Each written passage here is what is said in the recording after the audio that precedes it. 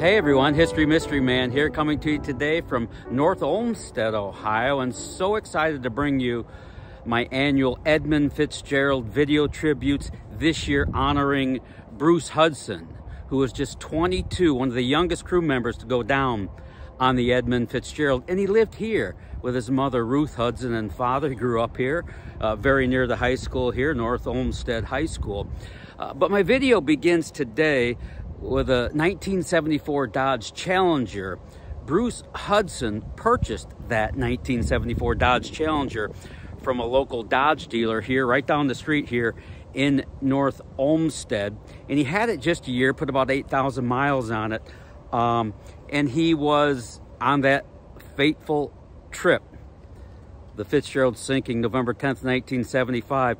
His car was all packed up and ready to go to California when they got off the ship. Can you imagine how excited he was? 22 years old, worked on the Edmund Fitzgerald, the pride of the American side, uh, had money in his pocket. The Merchant Marines made good money. And, you know, holidays coming up. He was off to California, but obviously he didn't get that opportunity. But I've been looking for that Dodge Challenger for years, and I finally found it.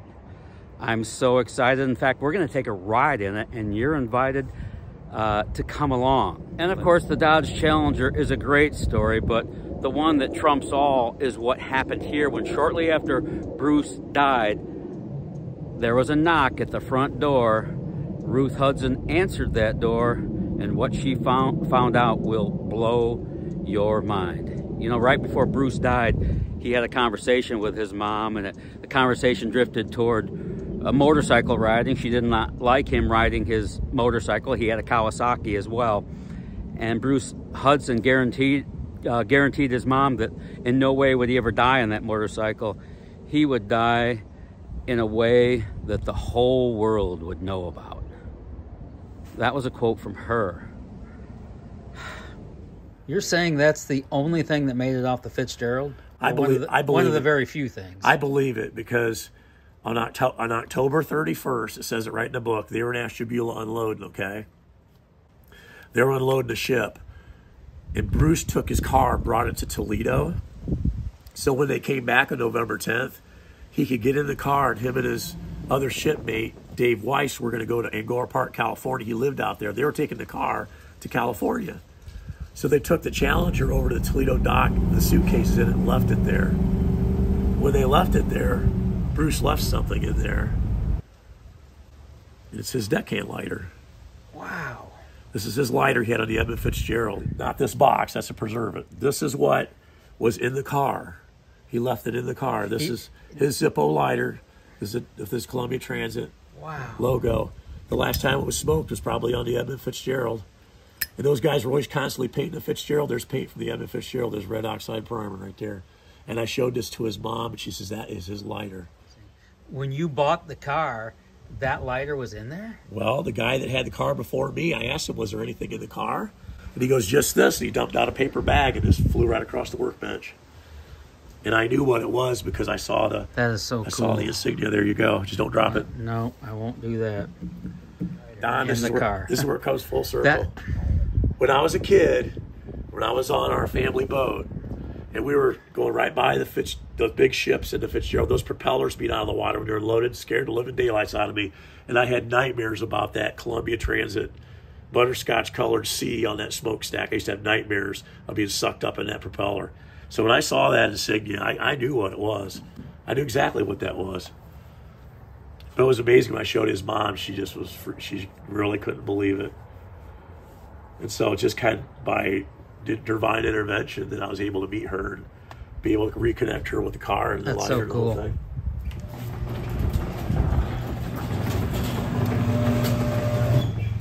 The legend of the Edmund Fitzgerald continues. This is fascinating. You know, you knew it was out there, but where do you, where is it? How did you first hear about it?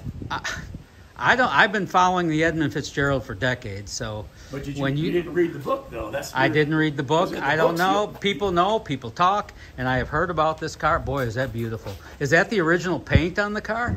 Well, there's another story about the original paint. Uh, Bruce had a little accident with it, so it's mostly original. It had a little damage on the right rear quarter. Well, it shows 53,000 miles. I put 20,000 on Did you put the Columbia logo in? You know what I did? Yeah, I I- don't. Bl- I don't. I don't blame you. I made that on there because that's what a deckhand would have on his car. Of course.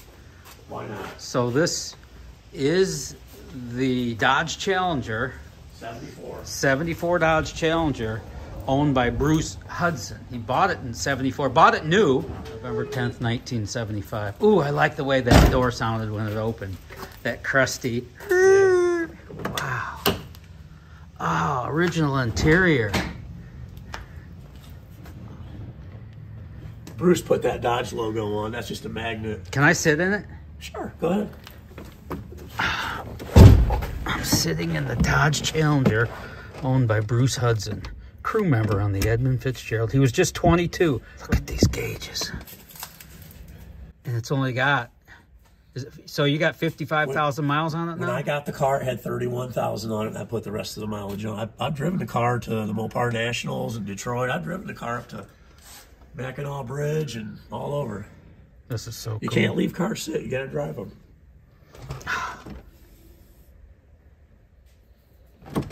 hmm. That's Bruce's keychain? Yeah, but this I added that. Okay, the leather piece is, was Yep, his? Yeah. Wow. That is so interesting. I'll blow your mind away. When I knew Ruth, she goes, "You know what? I have the license plates that were on that car, and Bruce had it. There they are. Those You on- got it all. Those were on there when the ship went down. Bruce put that sticker on. Really started putting stickers on cars. 1975. What does this car mean to you?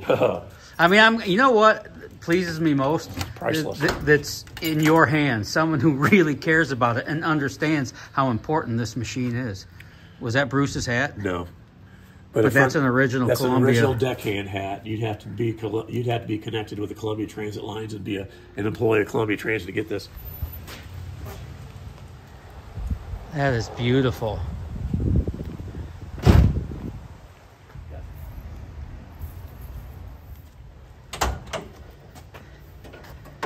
Three forty Magnum, and that's the original motor. The original motor. That's the original. This this car's This is all original. pretty much all. Well, it's a low mile car. Where are you gonna find one of them at? Huh, You're not, not one owned by I mean, Bruce Hudson, One, uh, basically a one owner car. and he was the only child, right? Yep.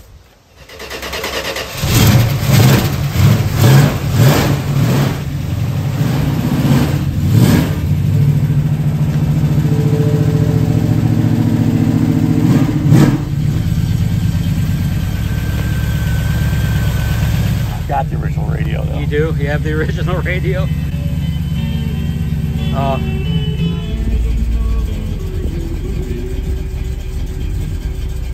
so this whole story is blowing my mind. I got to tell you.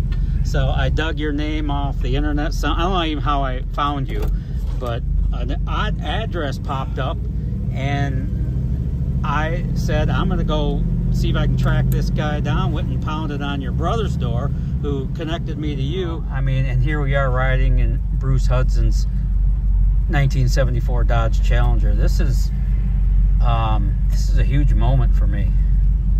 Well, not too many people really appreciate what this car means. You know I do, And, uh, if- and I know you do. Oh, this is this means more to me than any vehicle I could ever have. I mean, I've always wanted a Chrysler car, and seeing the Edmund Fitzgerald when I was a young lad, only ten years old, was definitely uh, was in my soul. And I think it was divine intervention that Bruce, I think, has trusted me through his mom to put this car with somebody that really That really cares about it. for it, and will protect it. And didn't you kind of say when you came into this 74 Dodge Challenger that your life changed?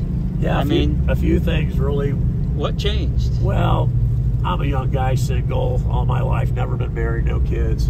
And it just kind of focused myself a little bit closer to a goal in life. And I think when I got this car, a lot of good things happened. I found my wife that I, I have known for years and never thought we'd ever get married. Yeah, you guys like met when you were little kids or something, or uh, 21 or it- something? when I was in uh, just out of high school, um, had a motorcycle shop, and I used to ride this girl on the back of my motorcycle, and really hit it off good for a little summer love, and then you always want the one that got away back. I'll see you in September, but that didn't come, huh? Well, Well, it came how many years later? 37. Wow. 37 years So, later. so you reconnected with your, who would become your wife, when you purchased, just after purchasing this car. yeah, just by by chance we crossed paths, and uh, just worked out uh, That's so cool. really good. And other things happened. Um, I was blessed with being able to buy a property, and a lot of things just sometimes you wait for things to come together in life. And when this car came into my life, a lot of things came together as well. Dude, you are riding with Bruce Hudson. You know, Well, I, sometimes it- I mean, sometimes I feel that think about all the great things that's happened to you since you came into possession of his car. Well, I've got some old cars. I hope this when I leave this earth someday, somebody will really appreciate them. And I think maybe he wanted this car to go to somebody that knew his story and, and got to meet his mom. Thank God I got to meet his mom. Her, his mom Ruth, His who, mom. who you knew very well. His mom, yeah, his mom Ruth. I got to meet her through the car. What was she like? Oh, she was an incredible woman. Uh, she was, I think she, I, I look at her as almost a hero in the way that she helped protect the families, uh, go through some of the experiences they had to go through. How heartbreaking for her. It was to lose an only child, and she just lost her husband not long before that. Uh, it was a big thing for her. And when this car came back into her life, when I got to meet her, it'd been years and years later. I think she uh, opened me into her home, and uh, we got to talking about Bruce. And I met Bruce through her because I never met Bruce Hudson, but she introduced me to his high school buddies. Oh, that had to be And, fun. and that was even a neater thing because they never got a chance to really have some closure. And I think we we met with the car at a municipal park at a, at a car show. When they came, I think it was a closure for. She had people from uh, the neighbors, the family. It was a closure for his buddies to kind of say it. Bruce was saying it was okay that we all got together, and it, it made it really special for me. It was almost uh, an, apo- an apostrophe to the end of the story. But as you know, with the Edmund Fitzgerald, the, le- the legend lives on, and there's a lot more to this story, and it goes on and on and on. Because Bruce has grandchildren. Really? He does. His So- girlfriend was pregnant, Did he ever meet? Did he have a son or a daughter? a daughter. Did he? So he never met his daughter? No. Wow. His girlfriend was pregnant with his child when the ship went down. Yep. Wow. And she's got four children, and they live not too far from here. Have you ever met Bruce's daughter? No. Uh, We should go meet her. well, maybe the, maybe someday she'll seek me out, and I'd love to meet her. I really would. I sure would. But have you met his grandchildren? Nope. He have not. Okay, I, but I know I know their names. That's about as far as I want to press. But I know he does have a legend that lives on through his daughter and his grandchildren, and someday maybe they'll seek me out and get to ride in grandpa's car. That would really be wonderful.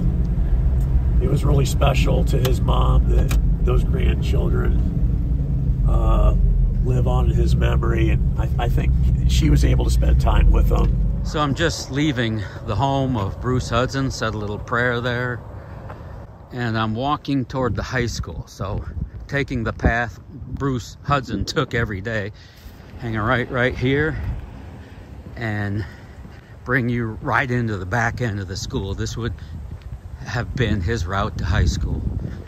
These things are spiritual for me.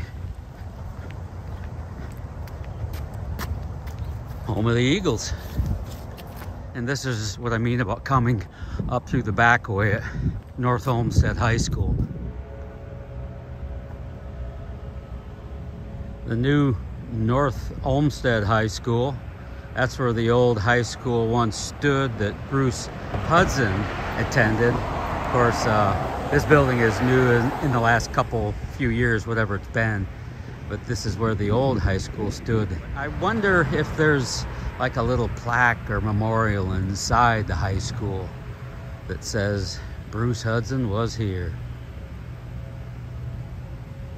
So I'm at the local library here in North Olmsted going through the 1972 yearbook, North Olmsted High School yearbook. He, Bruce, graduated in 72, and I did see his name, B. Hudson, in the marching band.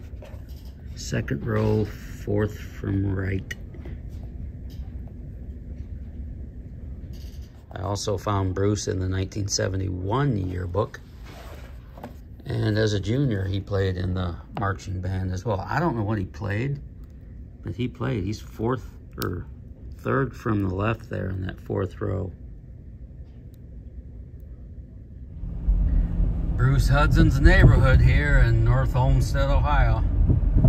This is where he went trick-or-treating on Halloween. Door to door. Rest in peace.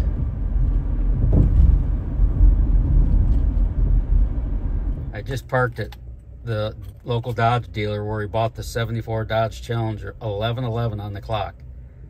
That's a sign of the angels. North Olmsted Dodge. The building's brand new, but this is the site of the old building. And it's interesting because the first car I see in here is a brand new 2022 Dodge Challenger on the showroom floor. Similar characteristics of the one he bought brand new here in 1974. Look at it.